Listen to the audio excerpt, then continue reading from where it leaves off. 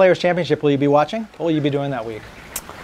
Yeah, like I said, I'm a little bit unsure. You know, that's that's where I live uh, now, so um, I don't know. I'll definitely be watching on TV. I think it's a it's a great event to watch. I, I grew up my whole childhood watching the watching the event, and uh, yeah, I'd, I'd love to get out there. I don't know how it would be uh, kind of received, but um, even getting out there and, and watching, walking around in the crowd might be pretty funny.